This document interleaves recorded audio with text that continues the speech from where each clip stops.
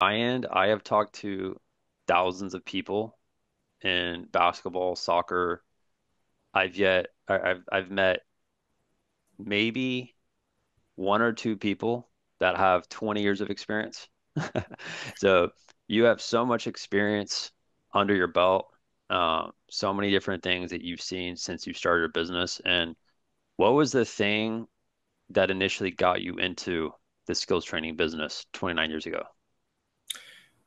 Well, the thing that got me into skills training business is that I was an assistant college basketball coach.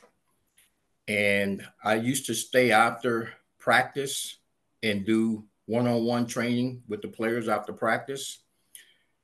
And over time, we would see really good results with those players, uh, them applying the things that we worked on into game situations. Um, players that I did individual workouts with after practice became college All Americans. Um, some of them got opportunities when they finished college to play professional basketball in the NBA or overseas in Europe. Mm-hmm. And so during that time, I was trying to decide whether I wanted to be a college basketball coach for my career or where I want to go with basketball long terms in terms of my career.